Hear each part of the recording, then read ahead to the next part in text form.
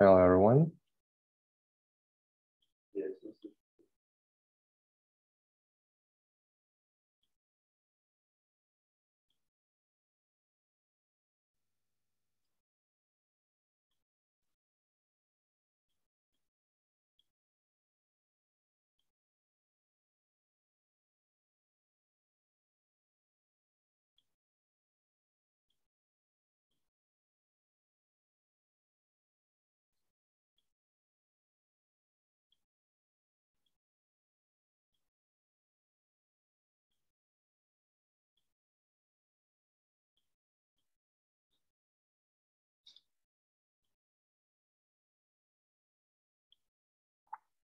Hey, dudes, can you hear me?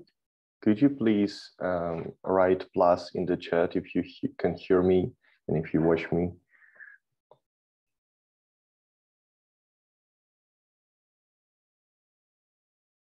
Okay, great.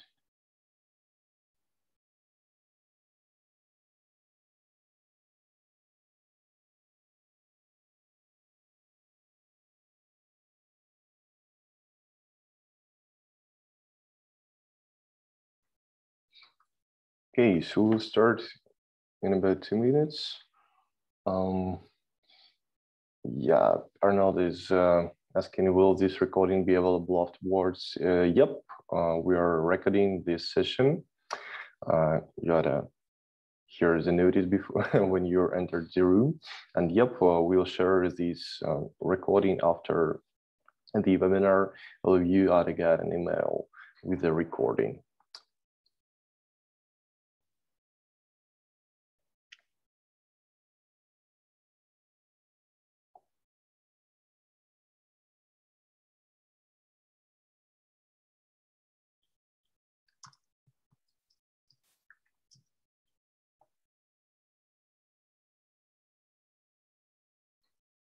Mhm.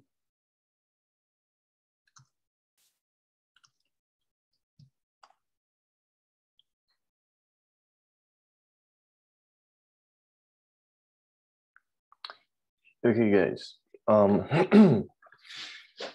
if uh, anybody is join us later, so they will join us uh, in the middle of the story. So first of all, my name is Nick, and I'm glad to see you here. And uh, today, um, I'll show you how to build a kind of a customer dashboard using UI Bakery application and uh, how to create a customer dashboard on top of the SQL database. We will be using MySQL database in this case. And um, our webinar will be in two parts. Like, first of all, I'll show you how to build a dashboard and do all the queries like um, selecting data from the database, doing multiple tables, filtering, grouping, ordering, and other stuff using SQL queries how to do that efficiently. And then I'll show you how UI Bakery can help you to do almost the same operations, but without SQL queries and just using our UI only, okay?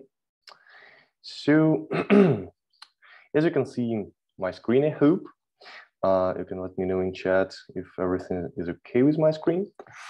Uh, so here is a customer dashboard we'll be building here. Okay, so first of all, here's a customers table that will show us um, a list of the customers from my database. And here is a customers orders table that will show us how to build joining, grouping, and other stuff. A bunch of filtering functionality here, like I can search for users here and uh, an ability to do an ordering based on orders count, like descending ordering, as you can see here. Um, numbers going into descending order, and we can switch it to the ascending order, so we can build ordering using SQL here. Okay, so let's start, and I'll show you how to build such an application. So first of all, I'm going to the UI Bakery. I have a few projects here already. And here I can create a project. Let's call it customer dashboard. Okay.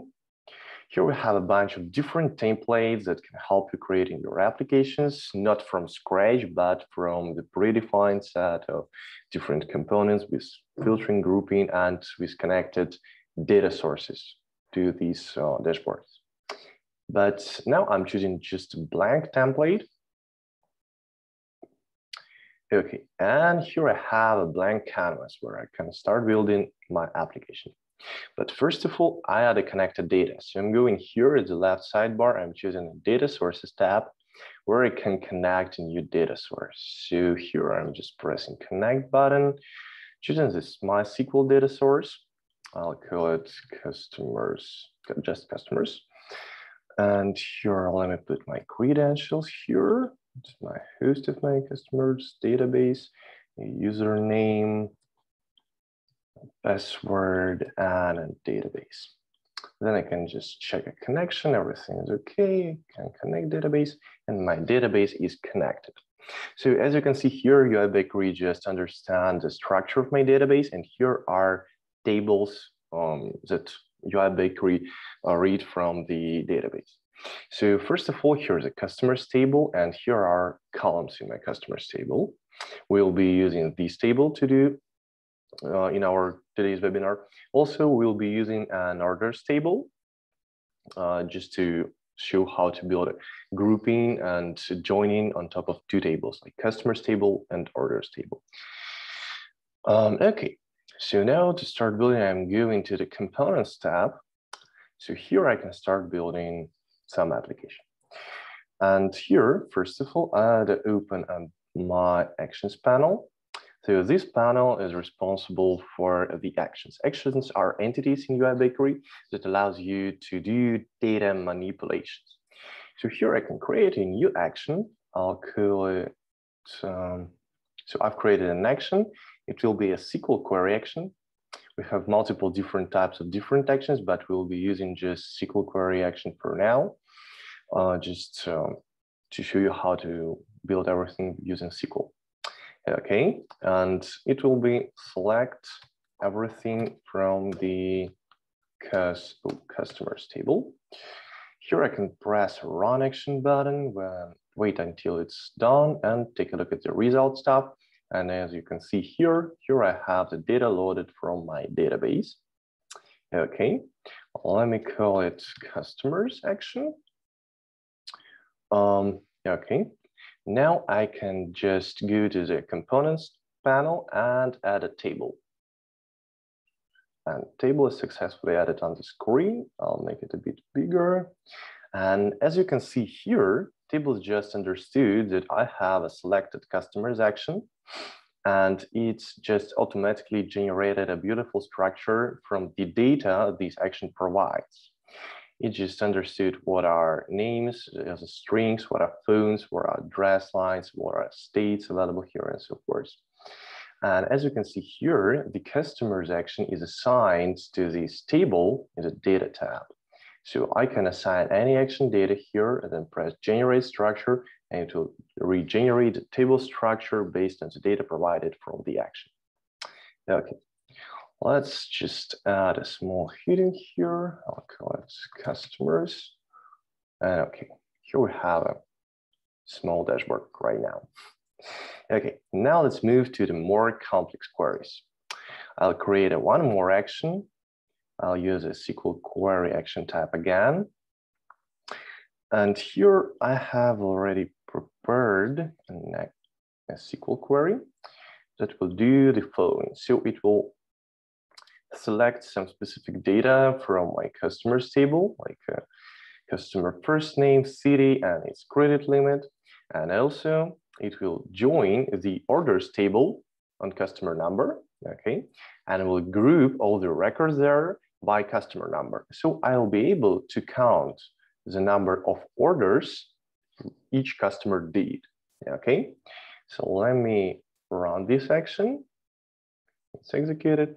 As you can see here, now I have a data. This shows me how many orders each customer did, okay? With the data, with the information about this customer. Okay, I'll call it customers orders. And I definitely have to add one more table here with the customer's orders. Okay. So again, a table is added. The structure is generated for this table automatically. And here I want to add one more heading that will tell us that it's a customer's orders. Okay, cool. Now we have a complex query that groups the data from multiple tables using SQL.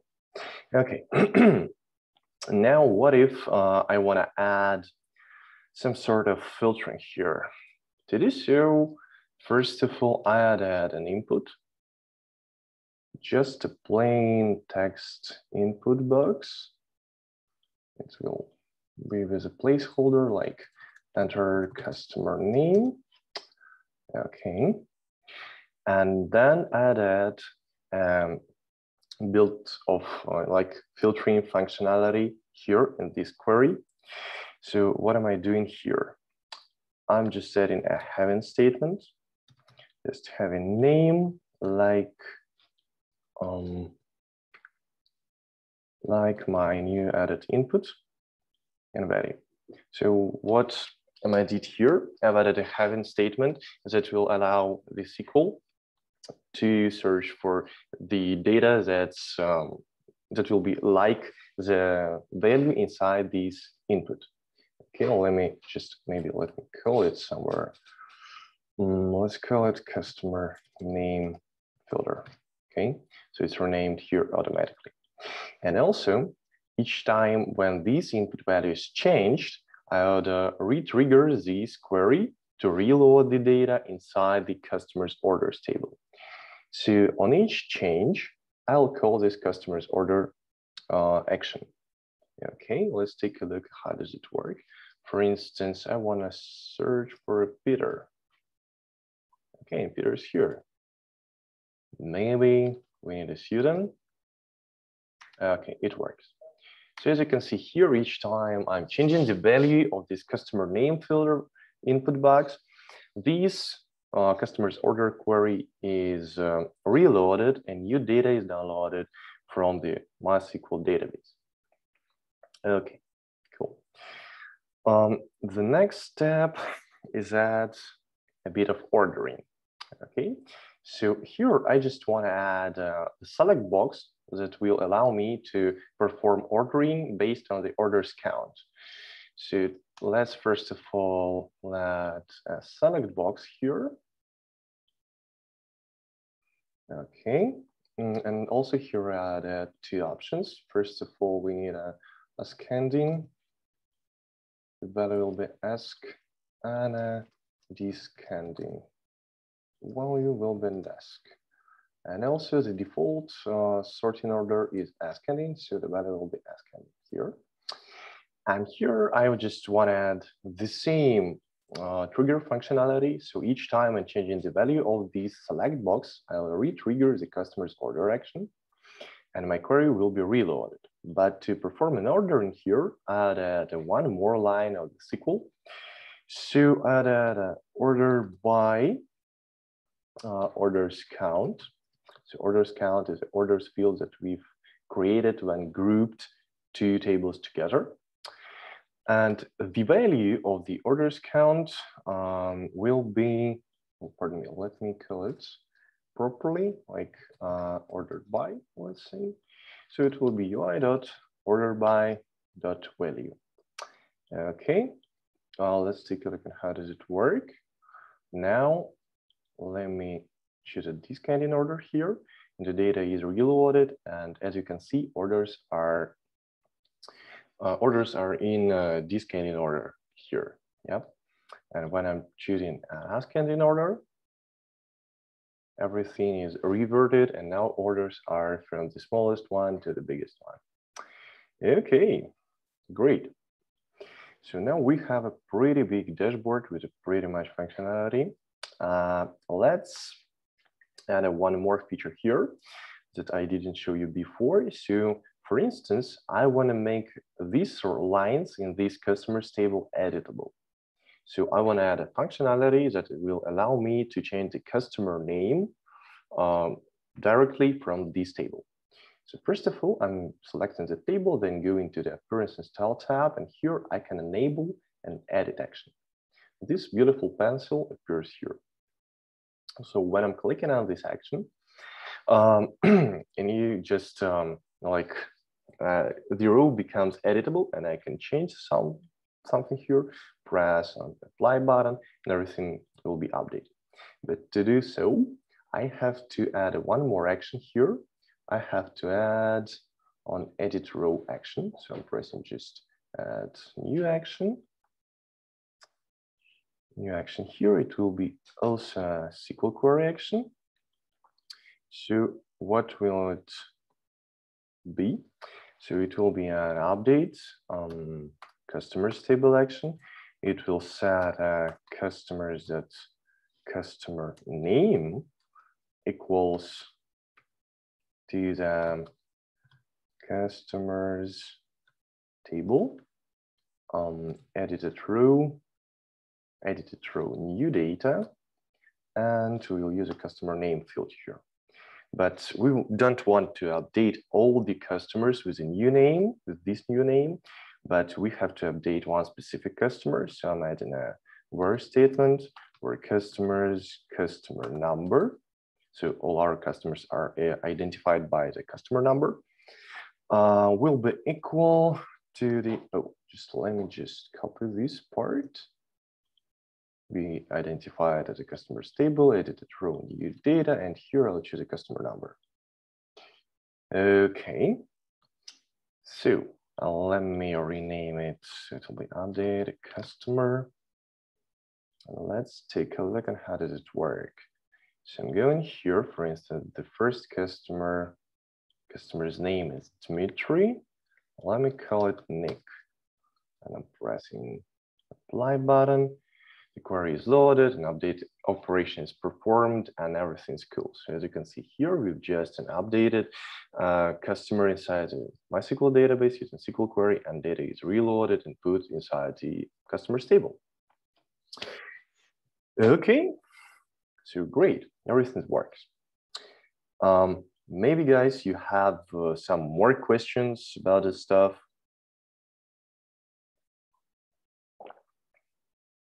If you have any questions, just don't hesitate, put them in chat and uh, I'll reply all of them a bit later. Okay, if you have no questions right now, then let's move on. So now I just want to show you how to build almost the same functionality, but without SQL queries and using just UI Bakery additional UI actions. So first of all, I'm going to the Pages tab. Here I'll add one more page that will be called like um, customers dashboard. Let's call it without SQL. Okay, I'm adding one more page. Okay, on this page, we'll build a separate dashboard without SQL. So first of all, again, we need an action that will load the data from the database. But right now, I'm not using a SQL query action because UI Bakery provides us with a set of you know, like CRUDL operations. Like we have a set of actions that allows us to load table from the database, load specific row, create rows, update rows, delete rows, and so forth. But right now, first of all, I have to add a load table action that will use a customer's data source again and resource it will be customers. So it will load all the data from the customers table. I can press run action again, take a look at the result and all the data is loaded as we've seen before using SQL queries, but now it's without SQL queries. Okay, great. So now let's go back to the components and add a table here make it bigger and add a customer's heading. So it's customers table. Okay, great. Now let's go back to the components. And now I just want to add a functionality that allows me to perform a search across all these customers based on their names. So I'm just looking for an input component I'll put it here. Again, it will be under customer name. Um, and this input component on each change of value inside this input component. So when you're typing here, again, you'll have to re-trigger the um, load customers action. So it's our customers action that loads the data without SQL. And uh, now the last step I want to add here is that to add a filtering functionality. So dot table provides us with a filtering functionality. So I can just press Uh, add filter button. And here we'll search for all the customers where customer's name will be like something in the UI.input value. So I'm referencing the value of this enter customer name input field. Okay, let's take a look at how does it work. So again, maybe we need somebody. Okay, let's search for Nick. Okay, Nick's here. Maybe we need to ban. Okay, and he also is here. Okay, so searching functionality works. Cool. Now let's take a look on how to build an editing functionality without SQL. So again, first of all, I'm selecting the table, then go into the Appearance tab and enabling edit actions. That is here. And now we need to add one more action. Let's call it update customers uh, without SQL. And using an update row action step. Again, customers data source, customer resource. What will we do here? So first of all, we have to configure which records will be updated. So we'll select the customer, uh, which customer's number is equal to the edited customer. So I'm choosing a customer number here. Uh, operation will be equals, and I'm seeking so it's a customer, let's call it customers table without SQL.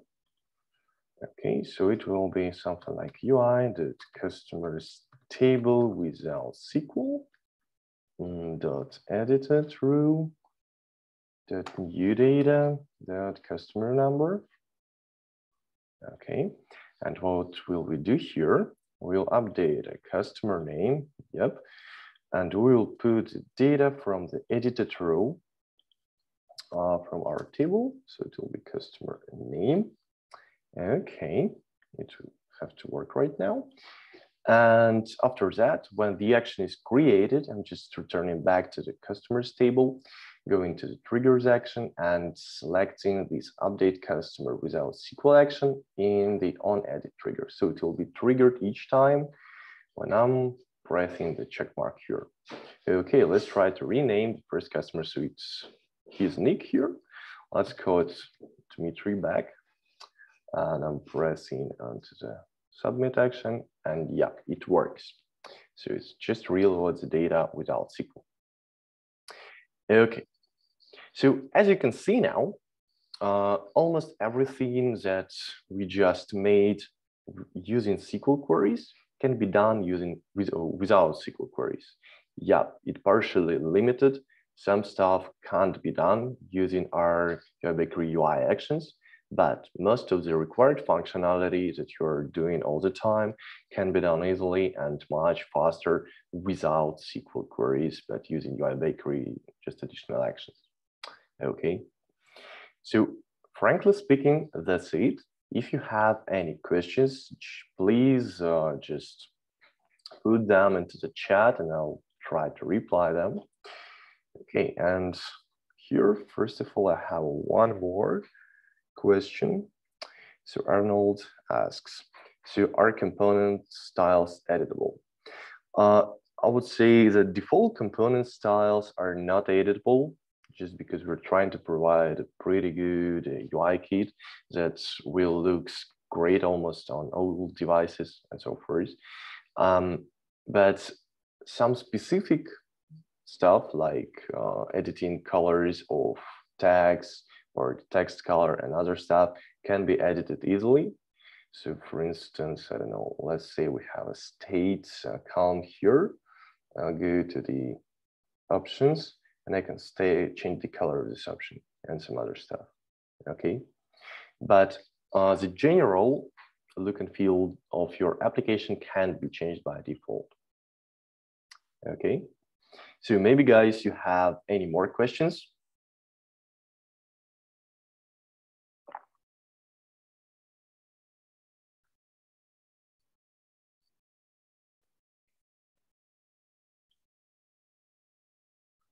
Okay. If you have no more questions, um, then I'm finishing that stuff. So thank you for visiting our webinar. Uh, I hope it was useful for you. And um, I would say uh, all this uh, webinar stuff, so the recording will be sent to you by email tomorrow. So if you didn't get some stuff, oh, Okay, so here we have a, one more question, sorry. um, yeah, could you share here some of those SQL scripts? Um, yeah, I can share it with you, but will it be okay for you if I'll just add them to the email that will be sent to you later uh, with the recording? I don't think that's a good idea to share the SQL scripts or the Zoom chat. It will be hard to get what's going on there, I bet.